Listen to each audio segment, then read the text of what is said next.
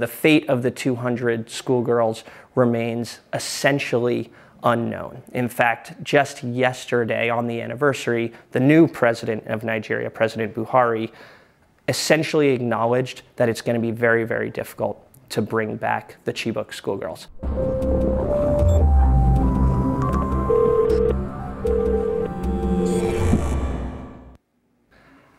Hi, my name is Kaj Larsen, Vice News correspondent. And this week on Vice News, we released the full length film documentary called The War on Boko Haram. And it was an experience where I was embedded as the only journalist in northeast Nigeria with the Nigerian army.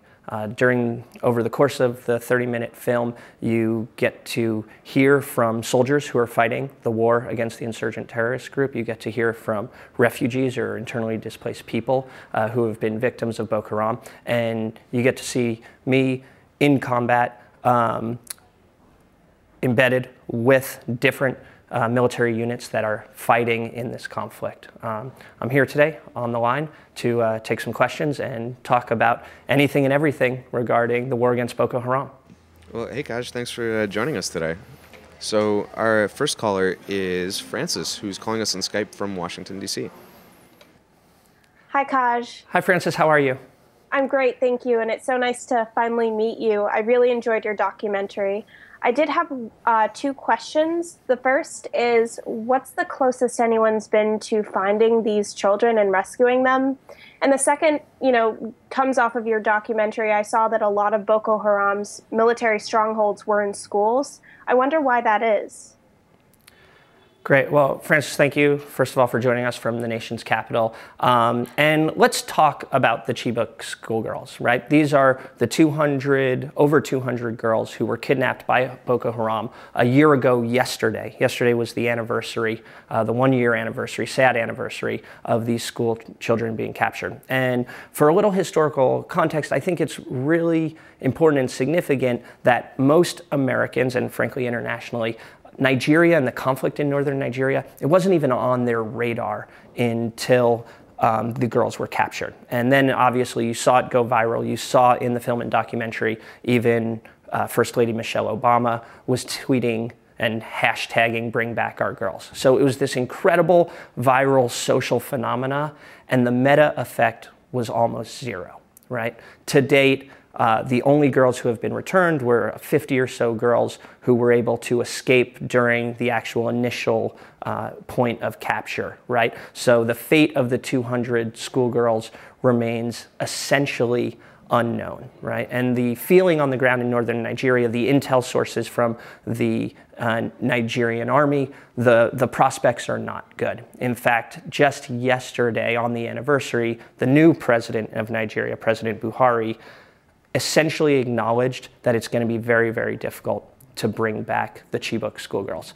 And in point of fact, most people's sentiment on the ground is that the Chibok schoolgirls are now Chibok moms, right? And most of them have been married off um, to Boko Haram fighters. They've actually found they have some intel sources that say a couple have been moved as far north as Mauritania and Mali through this sort of transnational movement of insurgents. Um, so that is not very encouraging. Um, what is also significant to understand about this is that the Chibok schoolgirls uh, are just the most well-known example of people being kidnapped and terrorized in northeast Nigeria. I want to take a look at this clip from the documentary from another school that I was in. It's about two hours from where the Chibok schoolgirls were taken.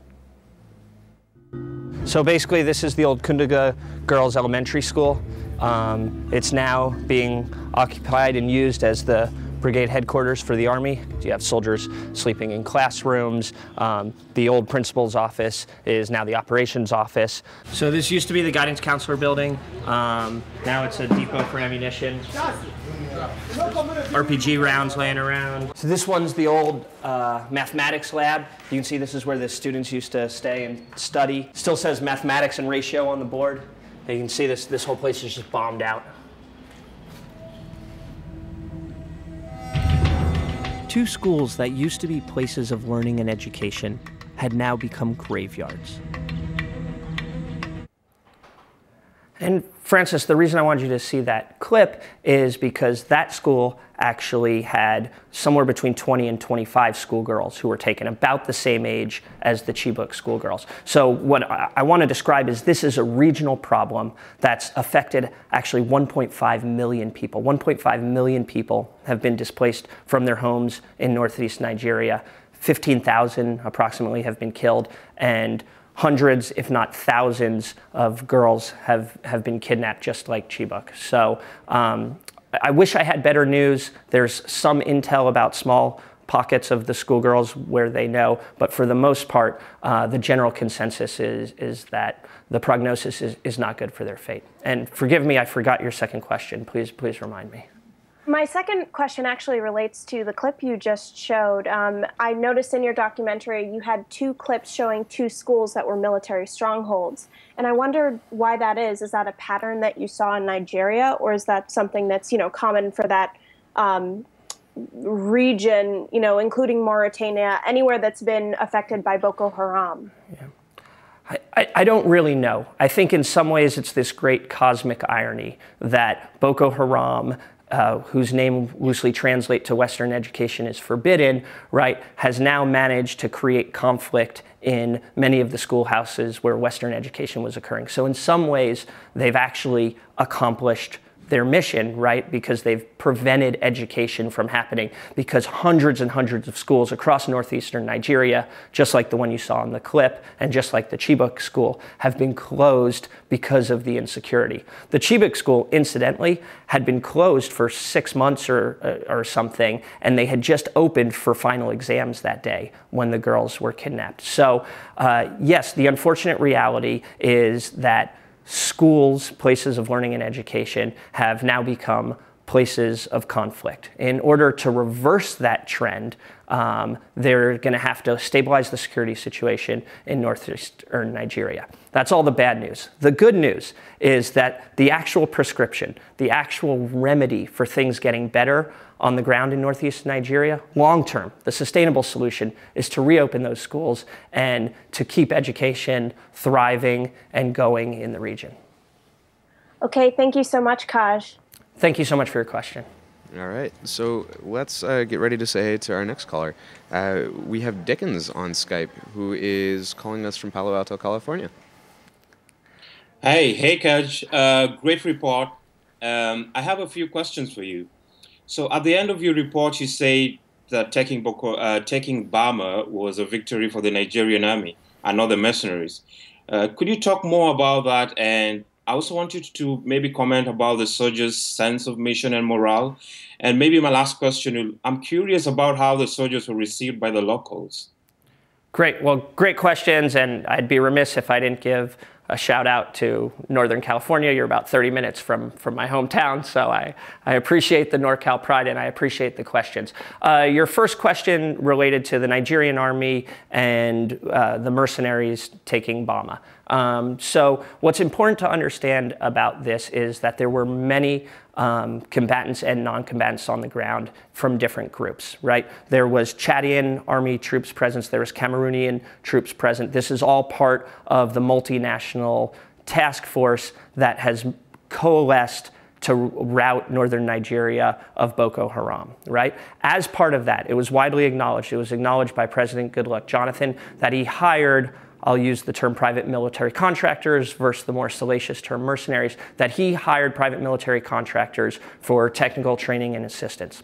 It was also acknowledged by the leader of one of these companies, a man named Eeben Barlow, um, in an interview that in addition to providing that training and technical assistance, they also provided a fully operational air wing. And you see a, uh, a clip of me embedded with that operational air wing in the latter half of the documentary. So there has been a lot of ballyhoo and a lot of media and international media reports about the presence of private military contractors. Uh, and there's also been a lot of reporting about the Chadian and the Cameroonian forces, right?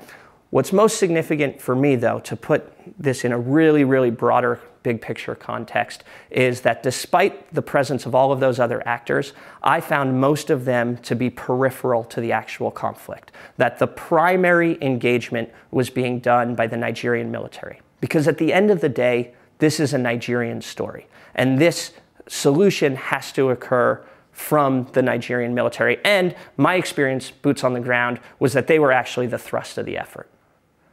Uh, but if I can just follow up, I mean, I, I watched the report and uh, your story, and what really amazed me was just how um, you know the morale of the troops seemed really high. The, there was some really strong sense of the mission, but then the earlier report before the six-week surge was that uh, the Nigerian soldiers were abandoning their posts and they were fleeing. And you know, I was just trying to reconcile the two. What happened uh, during the surge that was not happening, you know, uh, be- before you know they postponed the election to to go after Boko Haram? Yes, it, it's it's it's actually a great question um, because, like many things in combat and conflict, both sides are simultaneous true simultaneously true. The Nigerian army had problems with morale. They had problems of being underfunded and under-equipped. And you can't examine this without looking at it in the context of the political landscape at the time, right?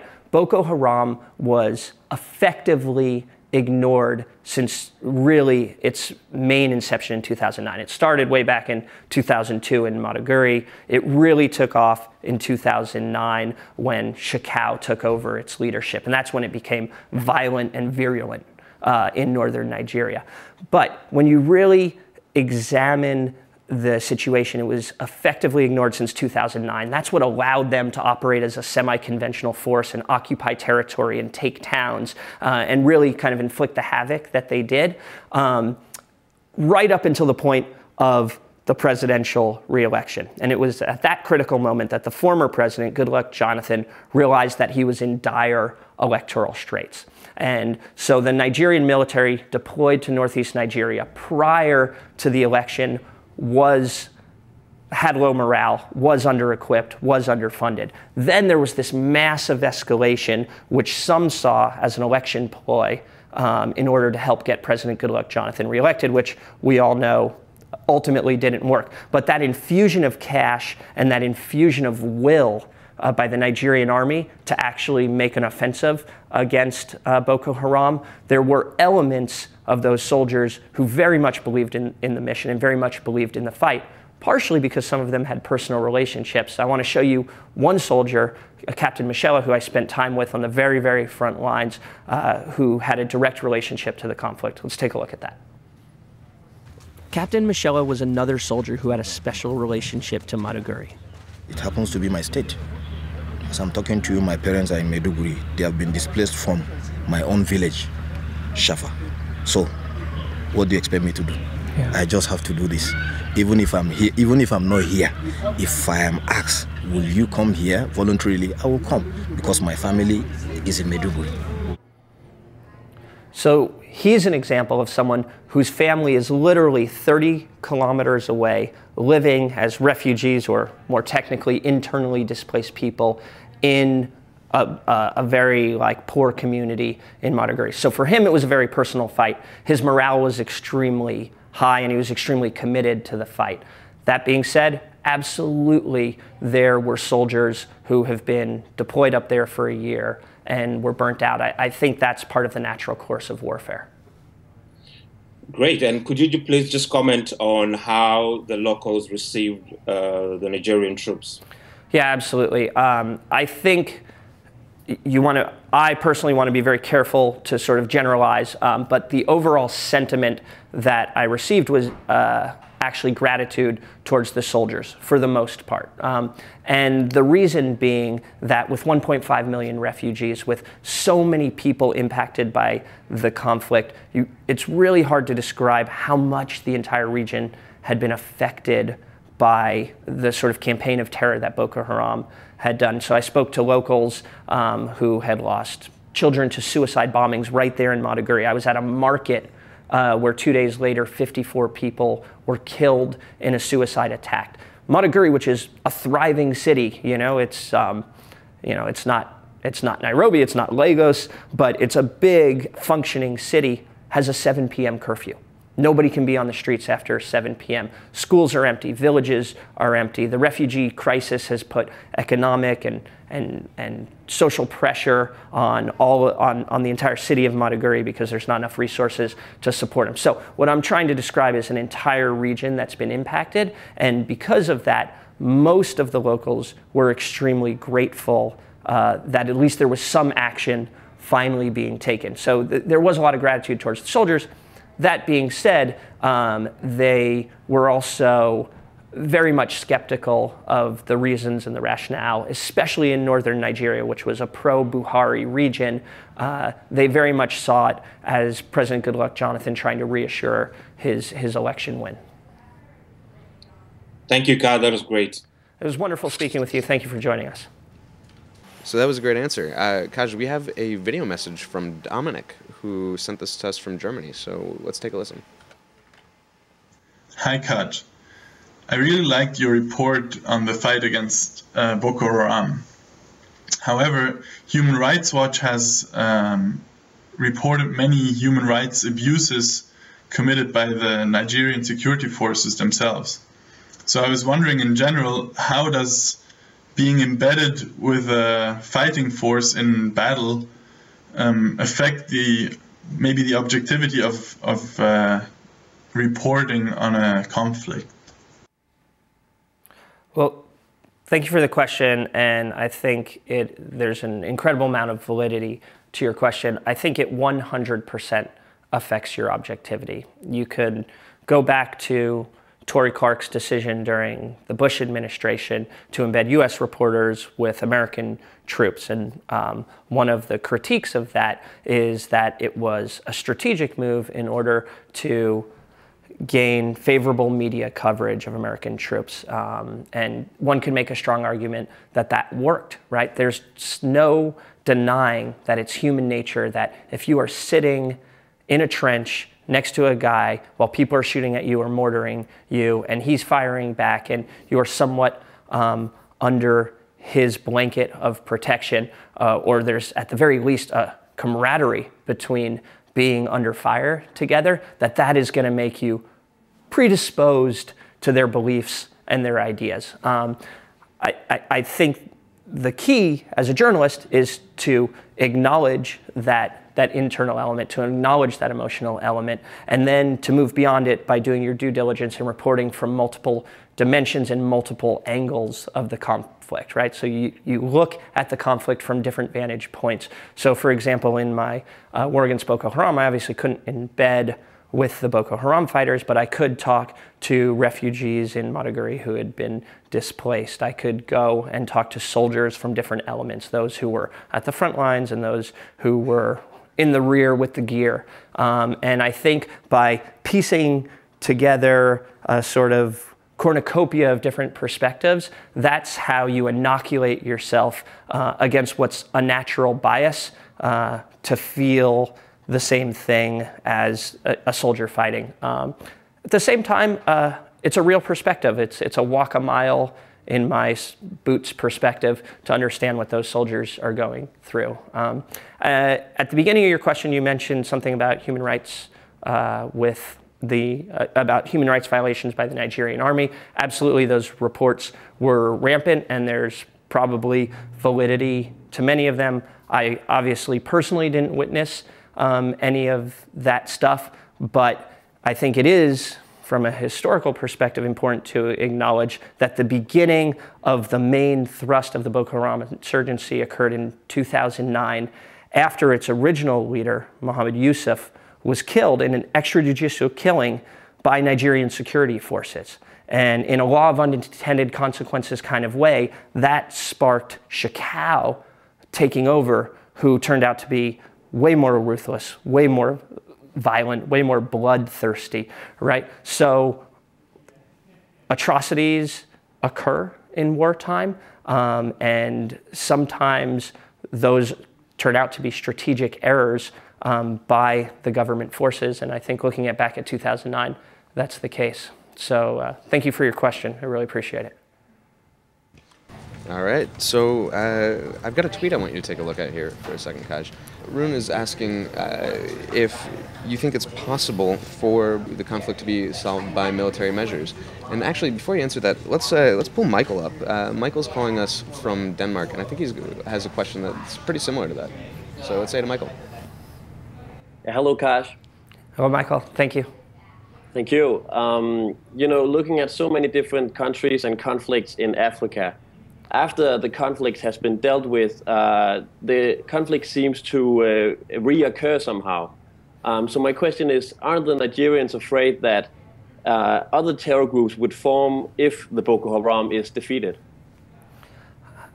I, I think the very short and simple answer to your very important question is absolutely. In any conflict, it's really important to look at the systemic root causes uh, of the conflict itself. And in this case, um, it's negligent to ignore the disparity, the economic disparity between northern Nigeria and southern Nigeria. Southern Nigeria is a very oil-rich region. Uh, it has much more developed infrastructure. Everything, uh, all of the standard metrics on the development index are much higher. In fact, Nigeria is, you know, the largest economy in Africa. It's the most populous nation in Africa, right? This is a thriving nation, but those statistics are really relegated to the south. Uh, and it is not reflective of the situation in the north. Um, now they're lacking natural resources, but there hasn't been a trickle up effect to northern Nigeria. And that coupled with uh, a, a, lack of government presence, um, certainly are and and the, the, some of the educational issues that we discussed previously in the segment, all of those factors coalesce and coagulate to form the situation that became a breeding ground for Boko Haram, right? So, as Stan McChrystal famously said about the US and Afghanistan, we can't shoot our way out of this problem. And neither can the northern Nigerians just go there, kill a bunch of Boko Haram guys, and expect, you know, a renaissance in northern Nigeria. It's, it's not logical and there's, it, it's absolutely impossible. Um, that being said, it is, their strategy is not obtuse, right? They absolutely have to, just like challenges with counterinsurgency elsewhere in the world, stabilize the security situation, get rid of the immediate threat and presence of Boko Haram, especially the most pernicious militant elements, and then they can start to address the root causes. Unfortunately, um, and not to be too pessimistic about this, I think what we see as a legacy of conflict in Africa is that governments and institutions and actors are very much willing to engage in the kinetic portion of solving the problem. It's a much more difficult, much more long term, and much more intractable problem to solve what you're talking about, which are the systemic causes. Yeah. Um, um, just a quick follow up. Um, you, uh, is it your impression that uh, the average Nigerian think that there's being done enough to address these root causes? Uh, it is my impression that the average Nigerian absolutely does not think enough is being done. Um, they Nigeria is. Nigerians are very sophisticated and very politically savvy, actually. So they see the military action for what it is. But one of the chief complaints, and I think, frankly, it was one of the chief reasons that President Goodluck Jonathan was ousted. The first sitting president in Nigeria not to win a re-election campaign. Um, and that's, that's a difficult thing to do, especially if you believe any of a modicum of the allegations of corruption and, and rigging of the elections and any of that. Um, absolutely. Like, especially in the North, where President Goodluck Jonathan, frankly, campaigned extraordinarily lightly, right? Or predominantly Muslim population. He did not have uh, a lot of presence in the North, and certainly there, they have not felt the benefit of the rest of the boom of Nigeria's economy. So, um, to succinctly answer your question, Absolutely not. Nigerians, especially in northern Nigeria, feel like much more has to be done on the development front. Okay. Cass, thank you for this opportunity. It was wonderful speaking with you. Thank you for joining us uh, from Denmark.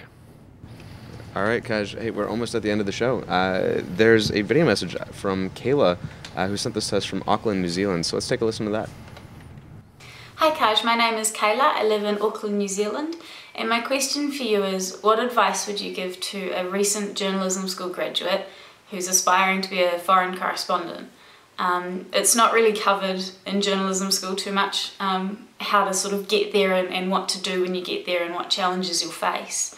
Um, and considering all the work you've done and the work you've done recently with Boko Haram, it would be really interesting for me to find out how you started and what challenges you faced when you started and how you overcame those those obstacles. Um, any advice would be fantastic. Thank you very much.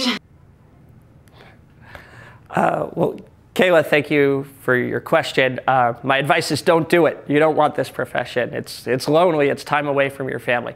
Uh, in all seriousness, I, I'm uh, honored and flattered um, that there are aspiring foreign correspondents out there. I think it is extraordinarily important um, to be able to go to these places in the world and, and, shine a light on dark places and tell stories that the, the public uh, hasn't heard before or to help increase people's understanding of these tectonic global events that, that have ripple effects throughout the world. Uh, so I commend you on your aspiration there's no straight linear path to being a foreign correspondent or to being a correspondent in general. Everybody takes their own circuitous route. Um, I like, this is a little bit of a variation on like your 20s you learn and in your 30s you earn. Uh, but my only advice is um, as you're starting off, accumulate as many diverse experiences as you can. Um, and then your reporting will be the sum product of all of those experiences. Um, so gather as much information um, you know, read as much as you can, go to as many places you can, and then somehow all of that will magically coagulate into a path towards being a correspondent and, and telling good stories. For me, the personal challenge um, in becoming a journalist and becoming a correspondent uh, was that I had no idea what I was doing. I came from a military background, and a month out of being out of the military, I found myself back in Afghanistan with a camera instead of a gun, and I had to learn on the job. And what I did was I just sort of took all of my knowledge and that my kind of innate curiosity about how things work, um, and I just tried to apply that to my reporting. So it's a long path, it's an arduous path, uh, but at the end of the day, I feel that it's a virtuous path, and, and I wish you the best of success. So thank you for your question. All right, man. You made it to the very end. So uh, why don't you say goodbye to the people at home? All right. Uh, thank you, everybody, for tuning in to On the Line. I really tremendously enjoyed the discussion. The full length version of my film, The War Against Boko Haram, is up on Vice News. I encourage you to watch it, and let's please continue this conversation and this dialogue about this very important issue. And uh, we'll see you next time on On the Line.